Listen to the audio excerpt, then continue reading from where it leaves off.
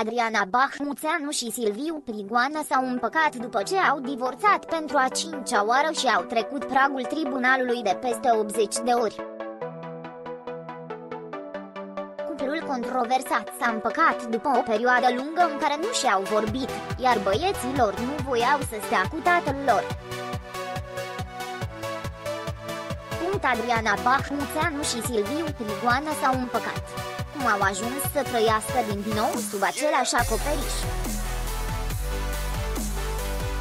Motivul împăcării pare să fie o problemă de sănătate de Adrianei Bahmuțeanu, care a împins-o să apeleze la ajutorul fostului ei soț.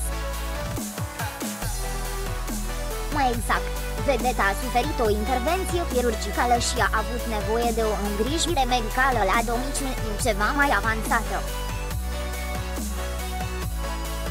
dacă îmi aduc bine aminte, da, am avut 80 de procese și plângeri penale.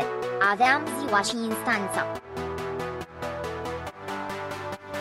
Ajunsesem să merg la tribunal ca la mine acasă. Acum suntem la final, trebuie doar să se mai stabilească domiciliul copiilor, însă ei au crescut. Sunt mari iar decizia nu mai contează pentru că vor alege singur unde își doresc să stea.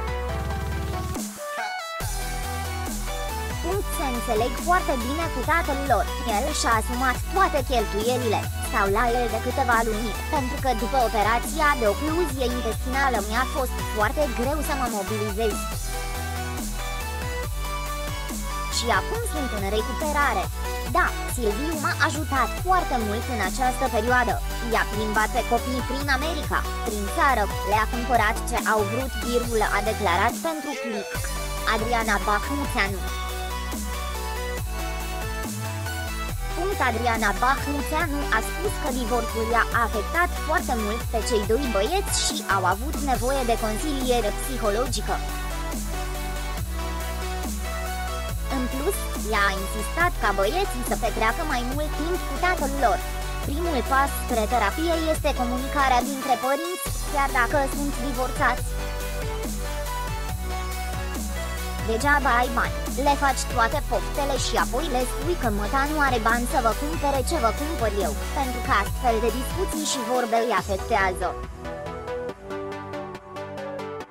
Nu trebuie să pui problema financiar, pentru că mai presuse iubirea decât un calculator scump virul a declarat pentru click. Adriana Bahmuțanu